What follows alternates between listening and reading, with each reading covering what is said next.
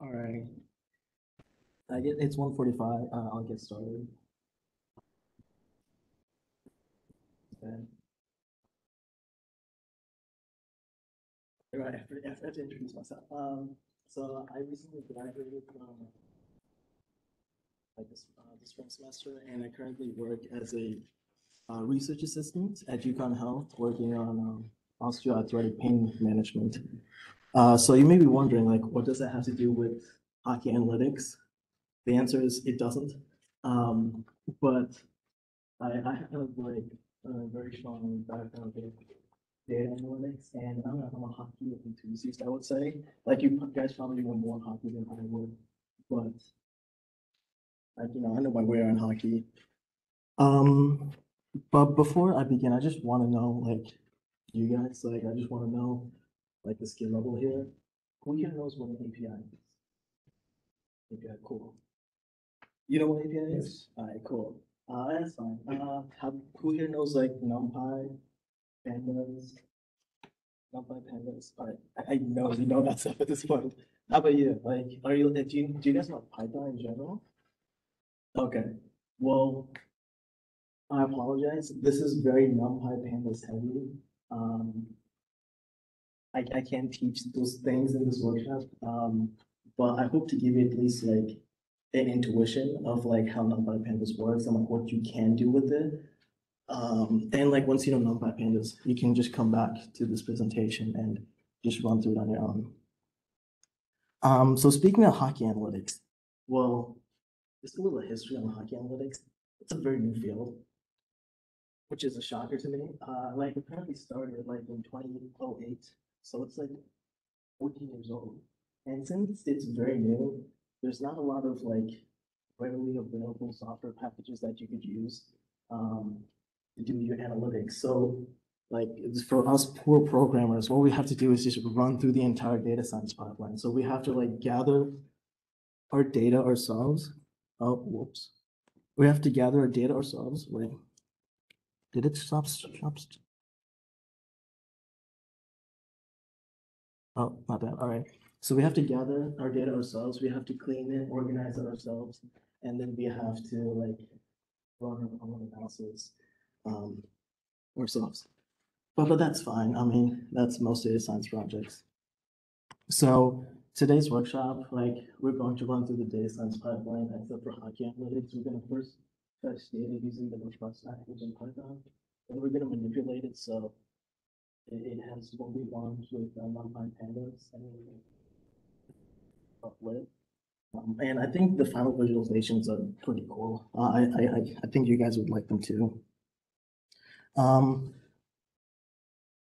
so yeah, so the objective for like this workshop is to visualize um shot and goal events. So if you guys don't know what that is, it's basically like anytime someone takes a shot or anytime someone scores a goal, like like the people recording the game basically like jot down like all the details, like oh this player shot the puck from this coordinate on the field, and uh, he's in this team, it occurred at this time, and all that stuff. So we're basically going to use that data and then run some analytics on, like, we're gonna rank players on who has the best average scoring, um. Like, where do players tend to shoot from on the field, um, where do, uh, teams, like, have like blind spots in the defenses, etc. Um, but, right, but to do that, we need a data source. And I'm going to use NHL data for this, so just keep that in mind. But there's a bunch of variety, but there's a bunch of other data sources you can use. There's the Big Data Cup, which is like a national women's hockey analytics competition, and they have like very good data sources that you could use for women's hockey uh, stuff. Kaggle is like a company owned by Google. They have a bunch of free data sources on basically anything. You can just go on Kaggle and type in like hockey stuff, and you get a bunch of free uh, sources. And then those two, um, the CHL microstats, NHL, their hockey points, um, they're also good data sources. They give you like play-by-play data. They give you statistics and stuff. But unfortunately, we need a subscription to use those um services. So keep that in mind. But today we're going to use, um, we're going to get NHL data straight from the source, which is from the NHL API. Um, right, so I think if the five of you or five of you only two you know what an API is. Do you want to describe what an API is? Like, like just give your best shot, like in one sentence, what would you say an API is? It's like a connection used to get data from a database. Yeah, that's actually very good. I was gonna say it's it's a connection to a magic portal, but you know, database database is a better word to use. But yeah, it's that's it's that's it's what you said. It's like there, there's a computer on there with the information that you want, and an API is basically a way for you to get that information. So believe it or not, right? If you want like if you want if like this is crazy to me, but you see that link up there, the HTTP slash stats API web whatever, that link is the API. So if you take that link and then put it in your Chrome browser, so like right here, it gives you all the information that you want here. One second, let me close this up. Um, but first let me like describe what this API is. So it's a link, right? But in order for this link to work, you need something called the game ID. It's those like ten numbers over there. Um, and the ten numbers is like consists of three parts. One is the year, second is the season. Season is like one, two, three. One is like preseason, two is regular season, three, whatever. And then the game number is like the order. of them. So zero, zero, zero, one is the first game of the regular season. Zero, zero, two second the regular season, and so on. So basically, you put in that number for for bad ratings. And then you can go into your, and you can go into any browser and then just like hit enter and it gives you like a crap ton of information. Um, like it's, it's so much information. Like if you look on, if you look at the scroll on the side, like it barely moved. It's so much information. How we're going to analyze this, we'll get to that later. Uh, but the first part is like, you want to get this information into Python, right? You want to you want to, you know, create all this stuff and then basically do like a Google search for them. It, it, the things, it's called a. It's a computer science lingo. And how you do a get request in Python is like pretty simple. You import the request package. Um, I'm just setting up all the variables, and then all you do is like in the browser, you just copy and paste it into the large center it's basically, it's like, it's the same thing by, uh, using the stamp so request on again. Just And this timeout is, um, just like if, just like you wait five seconds and nothing comes back to you, just like a voice. Um, it's just, it's just it so faster. But basically, this is just a function where I run through all the different game IDs. And then it, it gets all the data, that huge like chunk of data, and then appends it. And then what I'll do is, um, I'll append it to this game data list. Um, this is totally unnecessary, but right here, I have two thousand game IDs that I want, right? So I'm like requesting two thousand games. And if you think about it, like, like imagine like Google searching two thousand things, that's gonna take a shit ton of time right? You don't want to do that. Um, but if you had twenty people, like Google searching, you know, like the first twenty, the second twenty, third twenty, all that stuff, it'll go much quicker. Uh, and in, uh, in Python, you can do that with multiprocessing. And it's just a syntax thing, but that's how you would multiprocess it. Uh, and get all those game data. Ten minutes in, all right. Um, but yeah, so at this point, we have our data, which, which is cool and but, but as we've seen before, there's like a, a lot of data. Like ideally, I want like a table, right? I want a table like where each row is an event data. And then each row has like multiple columns for the, the offensive, uh, the offensive team, defensive team. When the shot was taken, or the goal was taken, etc. Um, but to do that, we first need to explore, we first need to understand what that data is. Um, and a very neat way to like understand this you could scroll through it and try to understand the data, but that's gonna take way too much time. But a neat way is to just inspect element, um, your UI. So if you go to inspect element, uh, network, I apologize, this is like a very fancy lingo, but it's what's required for API requests. Just refresh the page. Um, and then go to preview, click preview. Um, this is all on the GitHub, so if you don't know what I'm doing, like it's there.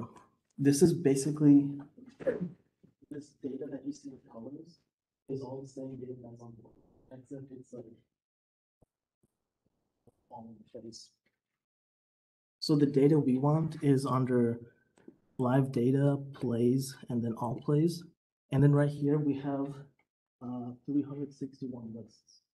So all of those are just like separate events, and I, I can show you what they are. So I'll just go to like a random one. Okay, so this this so the 110 list is a list shot event.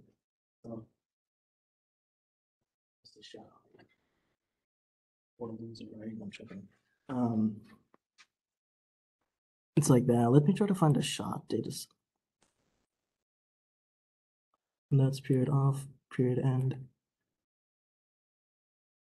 This one is shot blocked.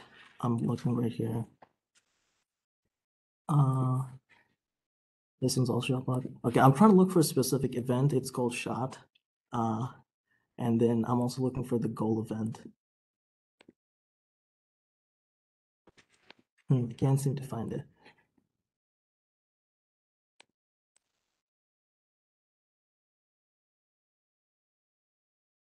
Okay, this is also shot blocked. Okay, here, there's this is shot. So this event, so the fifteenth event in the game was Mark.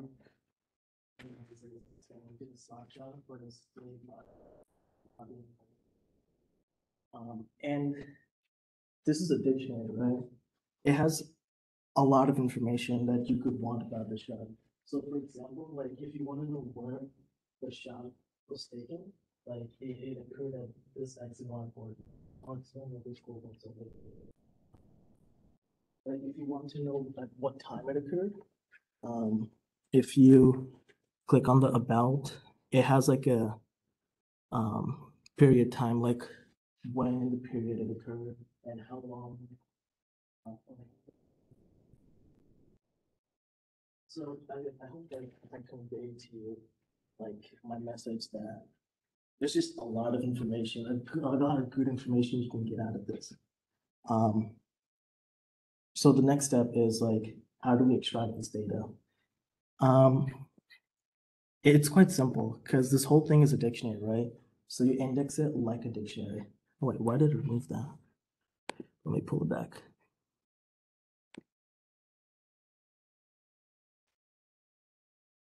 So let me go back. So right here, if I want to get the awaiting right there. If I want to get the awaiting, um, right here, I index into the game data. So I click down on the game data and then I index into teams. So teams and then away, away, and then I get the name. And then where's the name? Right here. So the Seattle Kraken. So that's how I get the away team. Um, and that's how I get the home team as well. So home team. Okay, the Knights. So that's basically what I'm doing. I'm basic, so what I'm doing is with each event in that giant list that you saw, those three hundred something events. I'm first looking to see, I'm just indexing it in the way I just showed you to first see if it was a shot or goal. If it is a shot or goal, I proceed. If it's not a shot or goal, I just ignore it. Um, and that's basically what this code is doing. Uh, I could walk you through it, but I don't think we have the time. But like, just take my word for like up top, I'm just basically indexing to get the X and Y coordinate for each, uh, for each event, uh, for each or goal event. Uh, I'm getting the offensive team on the the shot of the score, and then I'm getting the time and the time and the time. basically the time. they got. And then in the end, I just. Like the event is like the shot or goal, the X and Y coordinate, the offensive team, the team period, like after the shot, you know, just a bunch of other good information that you could have. So hopefully that makes at least some sense, at least right now. I hope you guys are at least able to follow along. All right, cool. I, I see some uh, nodding heads. Um, right, so I iterate through all the games and all the events, and what I will end up with is this table. So, again, I iterate through all the events, there's currently thousand events. I can Eighty-three thousand shot gold. I get, um, that name shot gold, the exit one quarter what happened, the offensive team got to the shot, defensive team what appeared to happen, and et cetera, self-explanatory. Now, that table that you see in native Python that table is called a data frame. So it's a special data structure, just like how a list holds like almost a consolidation. A data frame holds tabular information, and the you you import um you import this data frame using pandas. So you just import panda SPV. PW. And it's very handy to have this data frame because you can do a lot of cool stuff with it. You can, let's say you want to get the mean of. You can basically and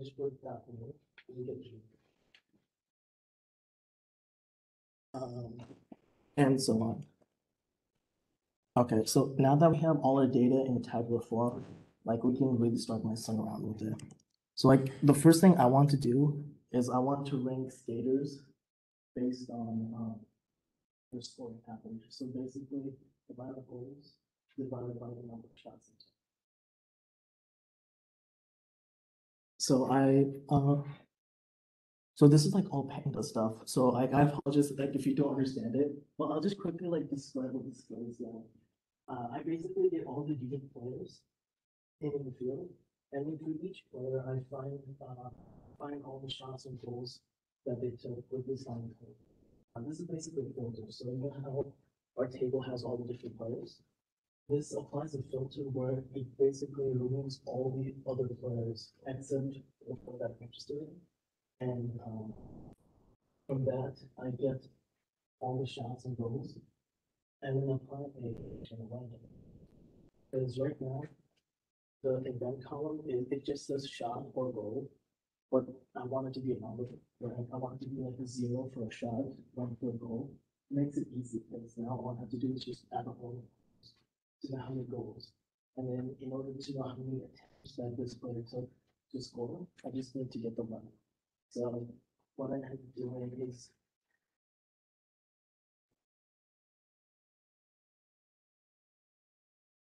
I basically end up getting the number of goals on the if I add them. And then I'm. Took, uh, based on the money, and then I can just divide the both of them and then just add it to a list. And then if I do that for every player, and then make a bar graph out of it, uh. In, uh, in pandas, bar graph is pretty simple.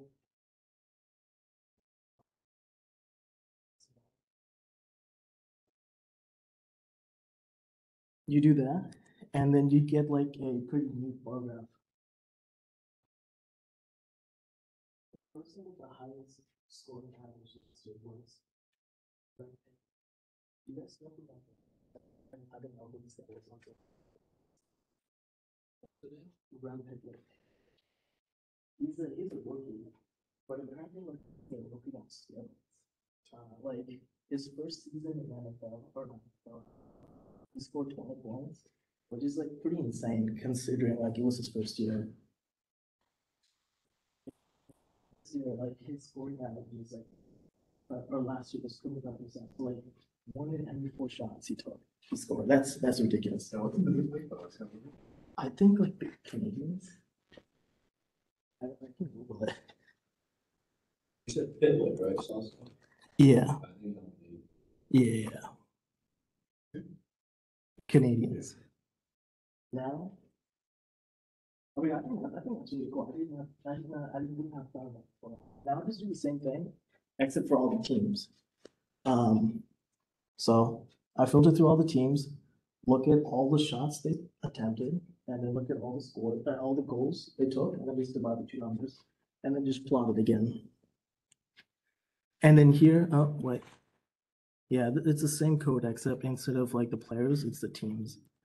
Um, and, and then here the blues pop up out of nowhere. I was expecting like, like example. I was honestly expecting Toronto to be a tough, because Stanley Cup two years. But like, I guess not. I guess it's, I guess it's, uh, the Blues that have the highest scoring average, which, which is which is kind of cool.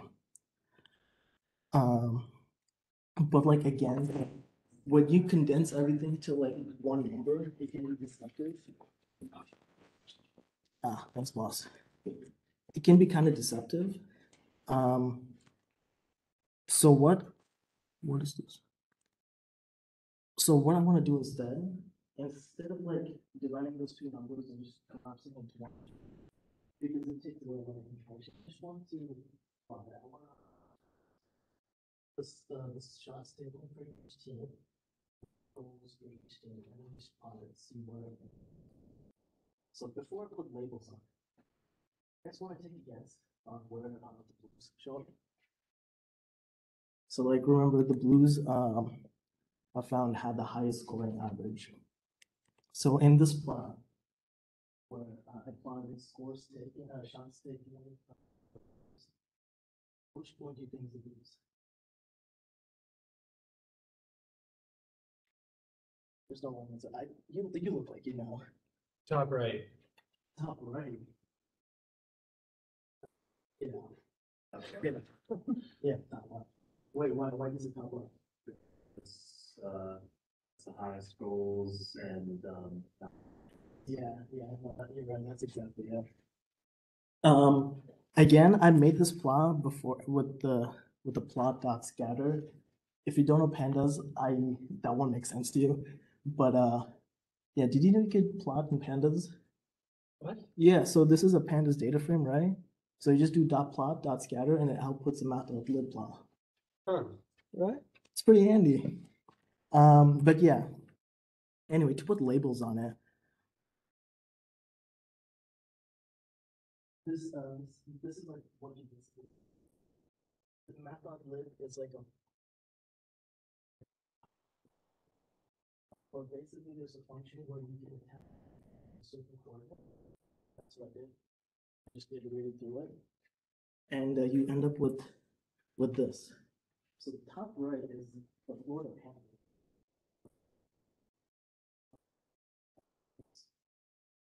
Do you guys have a favorite? New York Rangers.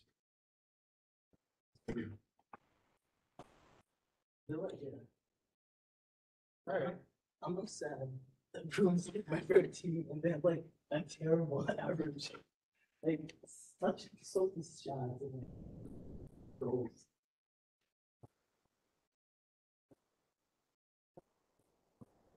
It's like it's a. Well, yeah, I think that's a cool visualization just to see how well.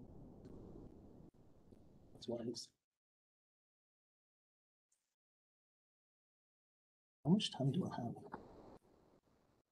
I have twenty minutes. I think. Okay, yeah. So now we, ha- since we have like a table of all the shots, all the X and Y coordinates, we can go a step further. We can just plot it on matplotlib. Um, again, if you want to know how to do that, uh, if you like, just learn, just learn matplotlib. It'll honestly probably take you an hour, and then you can just come back to this code, and it's pretty. It's honestly like super simple code if you know how to use matplotlib. Um, but first, uh, what I'll do is I'm going to extract the x and y coordinate uh, for uh, the x and y coordinates where it for the. And you know, I thought doing this would like help me visualize like defensive like potholes. Defensive like errors in, in the thing, like if, if like for whatever reason, people can just score more on the left than on the right, then there's definitely something going on there, right? So that was my reason for doing it. If you wanna know how I did it, it, it's a simple filter with pandas. Um, again, it's like a really simple code where you just need to know how pandas works to understand it. It's like once you learn how, once you know how pandas works, like that's all super easy. Um, right. Oh yeah, and about the coordinates. So the coordinates, like this is a very simple one. The, coordinates they give you is like, let's say this is the field, right? The center point is zero, zero. The top is forty-two point five. The right is hundred. On, on the other side, it's negative hundred and nine. So I can plot it, I can plot all the points.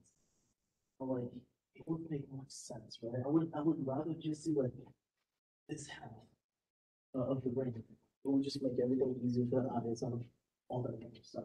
So like, what I want to do, basically like, take all the coordinates of this part, just like pull it out, rotate it hundred degrees and plot it on this side. Makes sense? How do you guys do that? How would you do that? Like, let's say you had a bunch of coordinates, right? Here and here. Or you take the coordinates here, flip the one degrees and put it.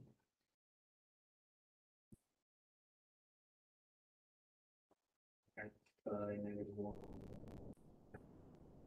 Alright, you're, you're right on the first one. If you multiply the x by negative one, you kind of look at this one. But if you multiply y by negative one, like. So, so like all the, all the points here, I want to make it, right? Cause I want to rotate it one eighty degrees. That makes sense, right? Yeah. Well, like, if I flip it by multiplying x by negative one, that's fair, but I also need to flip the x axis. Does that make sense? But, but here's the caveat, if I multiply y by negative one, the whole one on this side is I want to flip, but you also flip this side. When you multiply y by negative.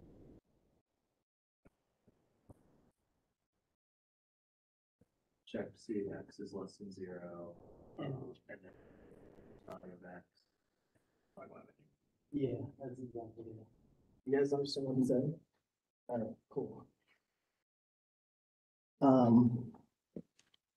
Again, in pandas. Quite simple to do. So like df dot x is all the x coordinates. And I'm just looking to see all, where all the x coordinates are less than zero. So what like this gives me, is it gives me a. So it gives me a one, wherever x is less than zero, and then a zero, wherever x is greater than. It's kind of dangerous, so it's just what it is. And then I'll find a numpy filter, so that if x is less than zero, it's negative one, and then x is greater than it's one. So I have a bunch of numbers, but I end up just basically doing what he said, uh, with numpy and And then once I have like the filtered coordinates, I can just plot them, and then I get this. Do you guys want to try and make sense out of what? Come on, take, take a guess. Just take a jab. They're close to the goal. Like the Yeah. concentrated shots. That, that, that, that's, that's one, yeah, most of, most of the goals are like really low. Then there's like, yeah, three- A little bit to the left. Right? I guess so, yeah, that's true. But my point was like, that's a turbo check. Like, if you just throw that out somewhere, like, no one will know what the graph is, or no one will know where the goal is, no one will know where, you know, the playoff area is and all that stuff. So like ideally what you want to do is like you want to overlay like a image of, the ring beneath the graph. That sounds super complicated. And it kind of is. Um, like, so like I'm right here, there's, there's a package in Python. Basically taking in.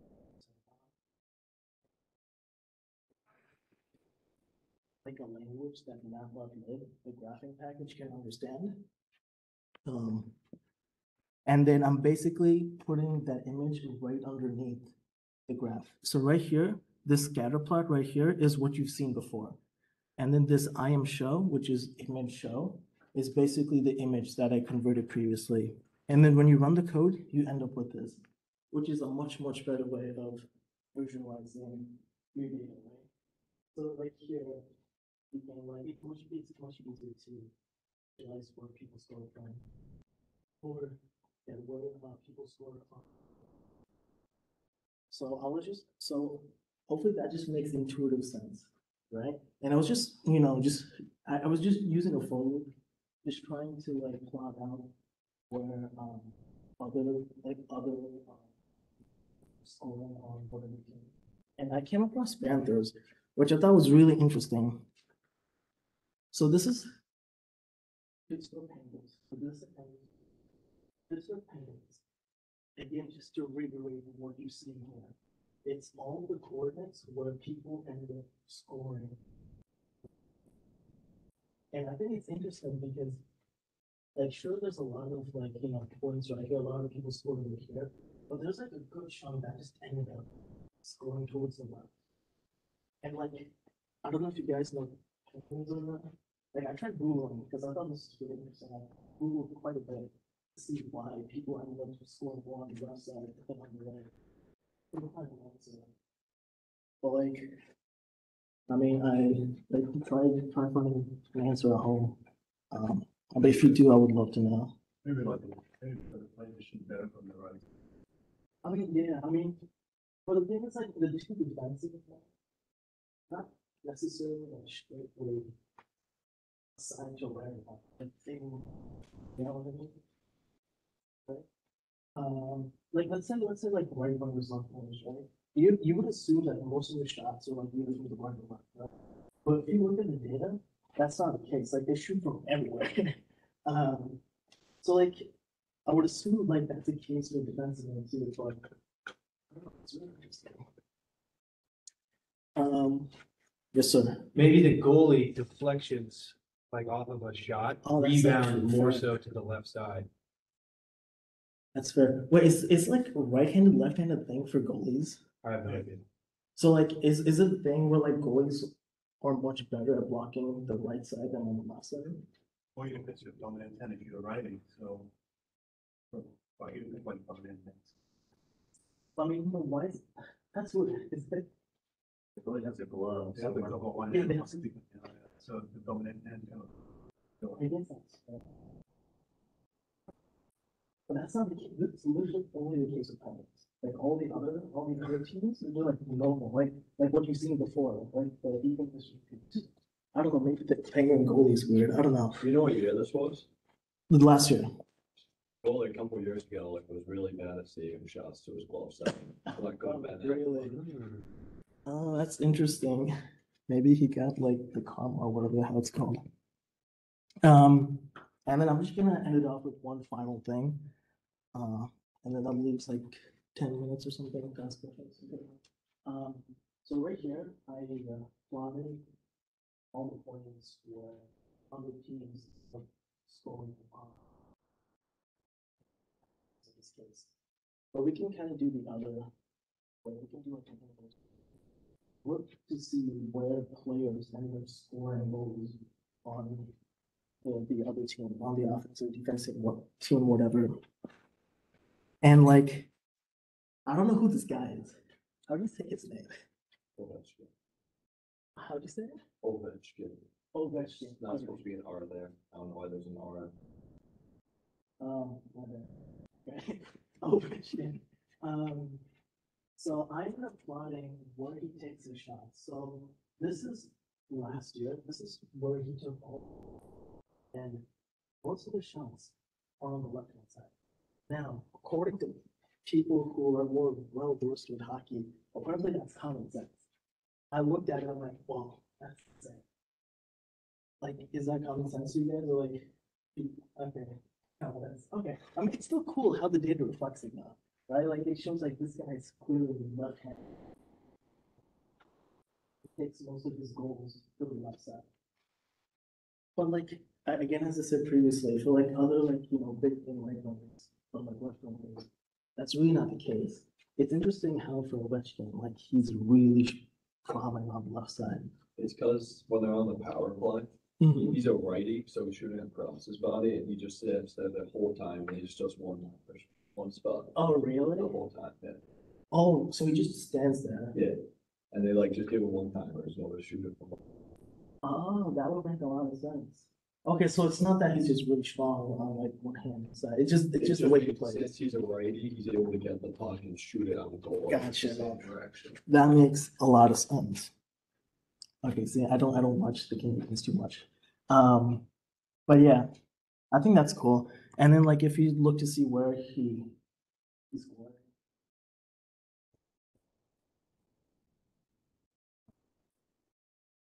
And Yeah.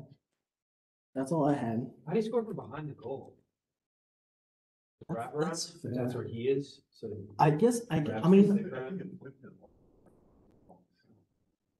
I mean, that's fair. Also, like, there's like some wearing points. Like, this this guy's supportable. So I'm just assuming that there's like some delay. Or it's like it hit the ball, it kind of deflected also on skate. Mhm. Oh, that's, it. oh, yeah, no, yeah, that's it. I was, I, I just thought it would be like, you know, some lag in the machinery, but you know, that's also valid. Um, yeah, that's all I had. You guys got questions?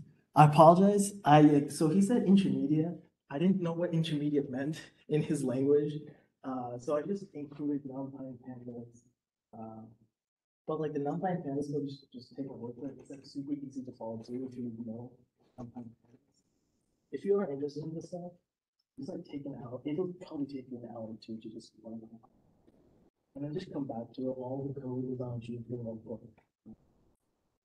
Yeah, just click one, one, one, and you get basically what you get. Raise your hand if you learned something. Yeah, raise your hand if you want something. Okay, Yes. okay, I did my job. I did my job. Cool. Uh, you guys have any questions for me? Um, yeah. So. How do we get like the, this is shot on top of the, what equation was there? What, what's that, what was that? On the, the shot against Tampa Bay. This one? Yeah. The shot against Tampa Bay, what are they? So what was this measuring again? What was the shot then? The point and the shot, so what was? So, so each of these like plus signs is, um, basically the, um, scoring a successful goal on. And, and like, I, by the equation, are you talking about Yeah, you got the equation. flipping the grid? So the only equation here is flipping the grid. Alright, also like here, let me take you back for a bit. Alright, there's a lot of slides. So right here. Right here. Okay. Tampa Bay is on the team, so the team is defensive team. So some guy, this guy, Danton Heinen from the Penguins, attempted a goal, he shot the Tampa Bay Lightning big one. Well, like where the guy shot it was from this point of the sixty and up. So like I have a bunch of coordinates on them. There's no equation for them. I just pulled it from the API. And I just got it from the API. And the only equation was um as he said, basically flipping the field around so that they have a better.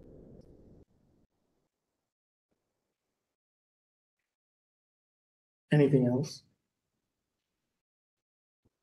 I a question, but uh, I was following one of the stuff you put on GitHub. Uh-huh. Looks like the uh, the app rank. Folder. Oh, is it? Okay, I'll, I run everything. oh, I apologize. I will upload that. Thanks for pointing that out. But did everything else run? Um. Oh. Yeah, I, I did, I did have to, I cut. I had to like make some modifications because for some reason the threading, that wasn't working, so I just my system. I had to make it now multi-threaded and I Oh. only downloaded uh, or one hundred games. Okay, also, um, right, I mean, the, the whole thing is that we have. uh, it's not the point.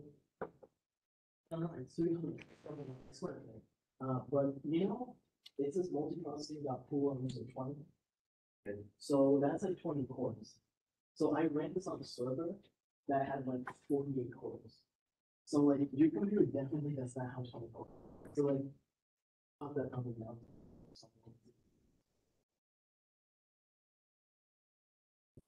And I think I used a different. I think I go to. Alright, sorry, wait, wait, forgot. Are there people on um on WebEx that have questions? Oh wait, there's a good amount of people on WebEx.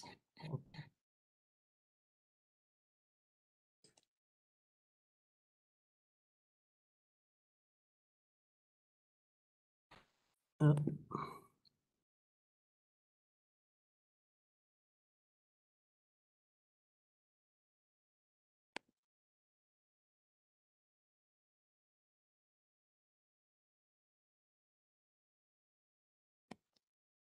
Okay, yeah. Uh, do you know what pickle is? It's just like, um, it's just the one to store data. So like, you have, you have a? It's like. Oh, that's just a giant. They don't just let you just store whatever into like that. So right here, um, of getting all the results, and then just it out there into this. So in this case, it's dated two thousand. And then I just want to. so. I can just. Start the jump. List. That's Hopefully, it runs. If, if it doesn't run, just like. you know, I'll respond. And I will be sure to upload the image.